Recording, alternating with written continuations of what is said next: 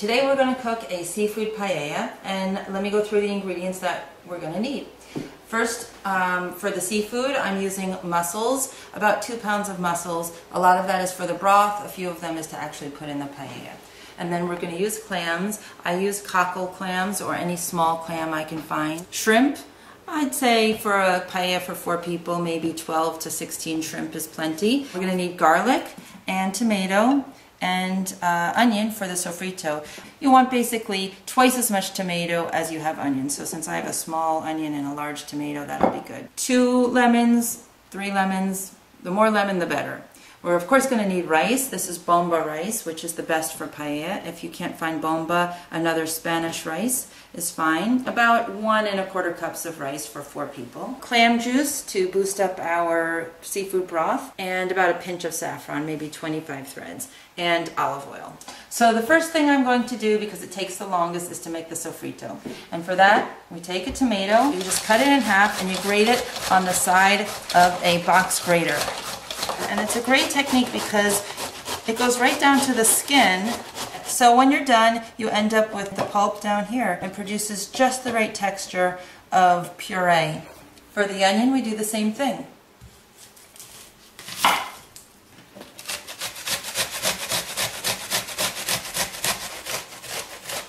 So it grates the onion into a perfect puree.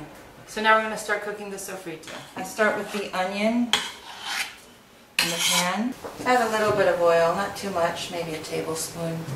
Season the onion with a little bit of salt. I season as I go. I add a bit of salt each time I add something to the pan. So the onion has been cooking for a couple of minutes and I'm ready to add the pureed tomato. I'm on medium heat right now. I don't want anything to get brown. This isn't about browning, it's just about softening up and sweetening the ingredients. So now I'm going to turn it up to medium high just for a few minutes and I'll bring it back down again. And of course I'm going to season the tomato. A little bit of salt. I like to use fine sea salt. When you first start cooking the sofrito, it's very light. Um, there's the tomato is very light, it's going to get darker. And one of the key indicators that the sofrito is done is that it's gotten very dark. The minimum amount of time for sofrito to cook is 20-25 minutes, but really 40 to 45 minutes is ideal. And if you can go even longer, better. So the sofrito has been cooking for about 10 minutes, 15 minutes now, and there's some sticking going on right here. So I want to show you.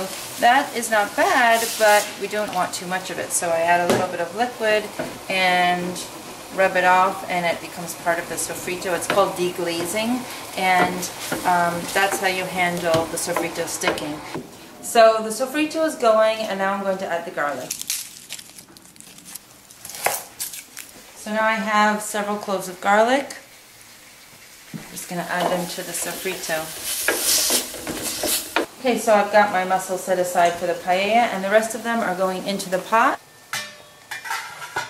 It's just going to be five or ten minutes, enough time for the mussels to open up. Now, while the mussels are cooking, I'm going to toast the saffron, and I'm going to take advantage of the heat coming off of the lid of the pot of mussels to do that. So I'm going to take a pinch of saffron. This is saffron from Spain. You don't want to use too much saffron. You just want enough to give it a gentle bit of color and aroma. Now I'm going to wrap it up into this foil, into a little packet.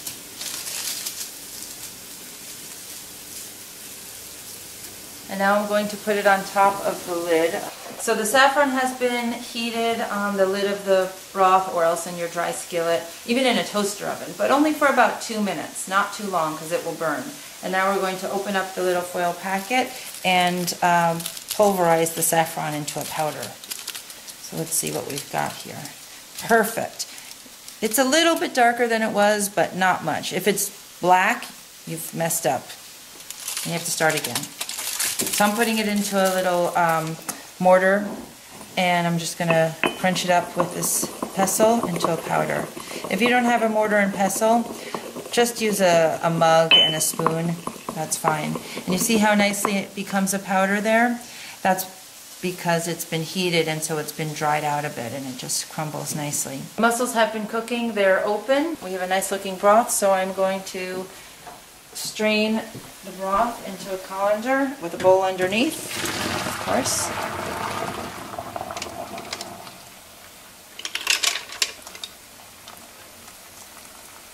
So now I'm going to make the rest of the saffron broth. So here is the powdered saffron. And now I'm going to take a little bit of the mussel broth.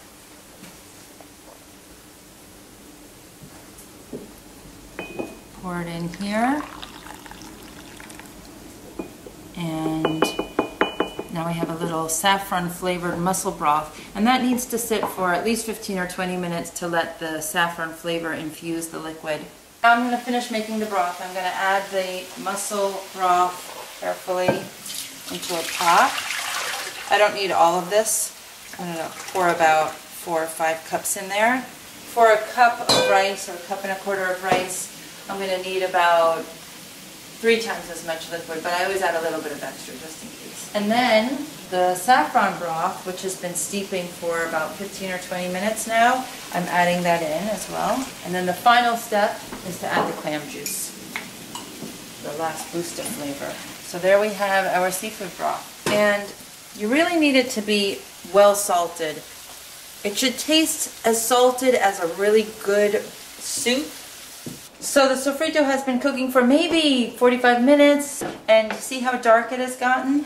It's really a nice, a beautiful burnt reddish brownish color. So one and a quarter cups of rice for four people, that means about one quarter cup of dry rice per person. Sometimes I go to a third of a cup per person because if the paella comes out really well, everybody's just going after the rice. We're ready to put the paella together.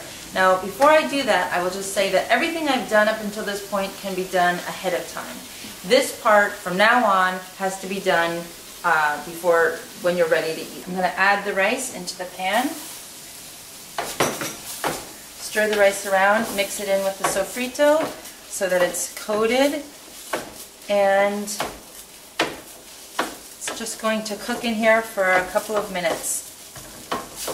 While the rice is toasting, I'm going to measure out the broth. There's four cups of broth. I'm not going to add it all. Um, I'm going to add one and a quarter times three is three and three quarter cups. So I'm going to add almost all of it. So now the rice has been toasting for a little bit. And I'm going to add in the broth. And I'm going to turn the heat up to high to bring it all up to a boil. Now right now I'm spreading the rice out. I can't see what's going on under there, but I'm just sort of feeling around, trying to spread it out as evenly as I can.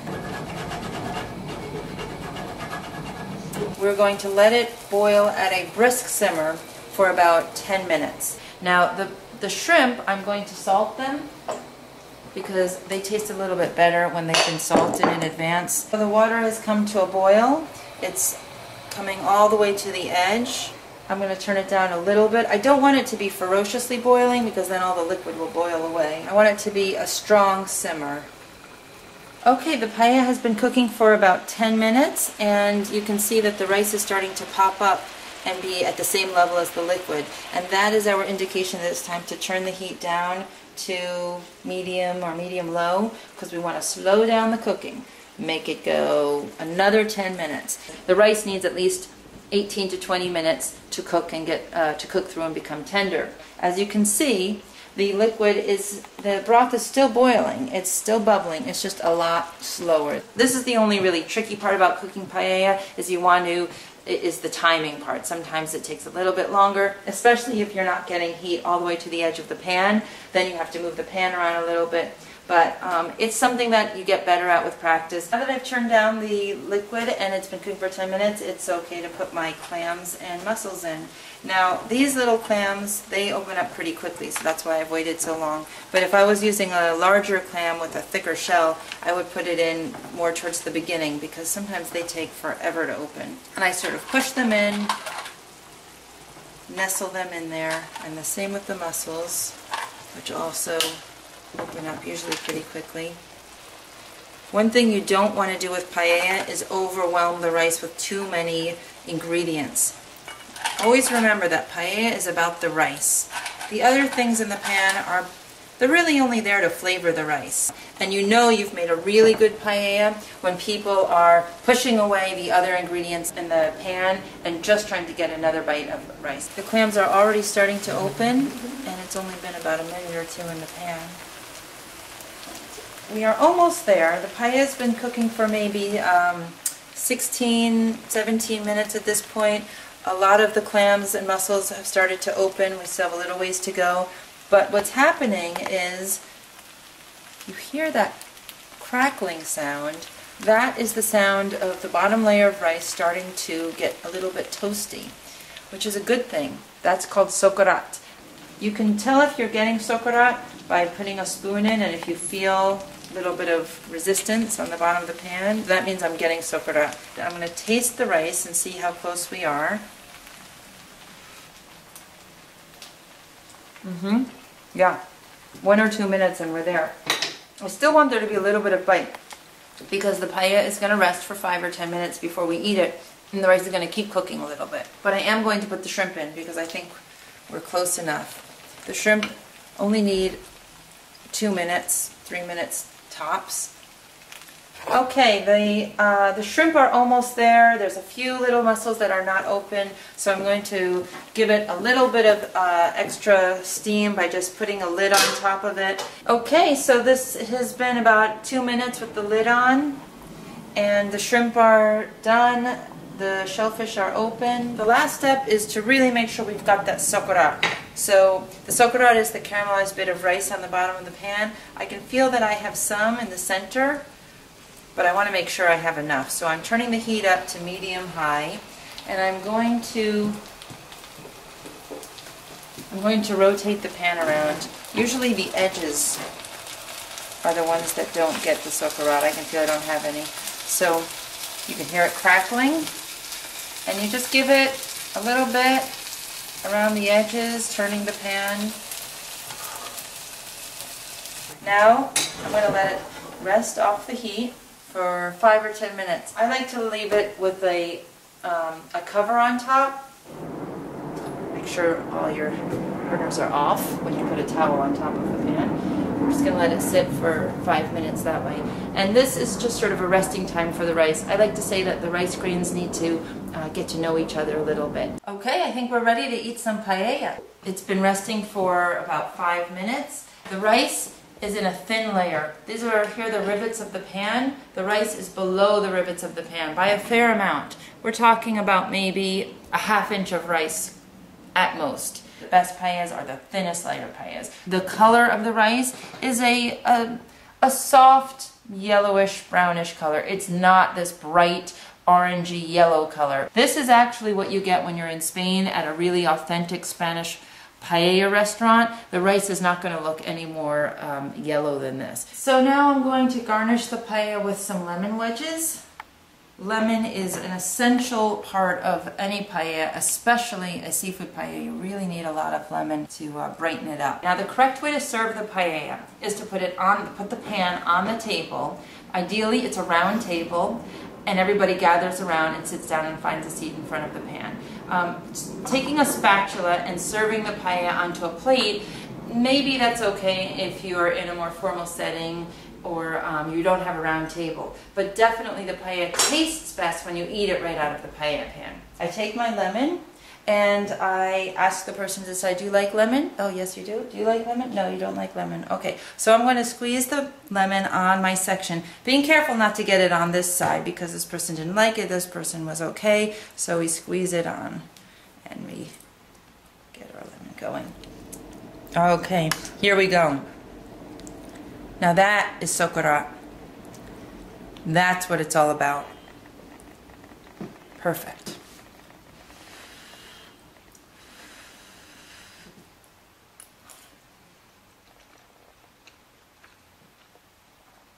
Delicious. Delicioso. Now, I hope you've learned a lot with this video. We'll be back someday with more, we hope. Um, and don't forget, get all of your supplies at paellapans.com. Call me if you have any questions. Thank you.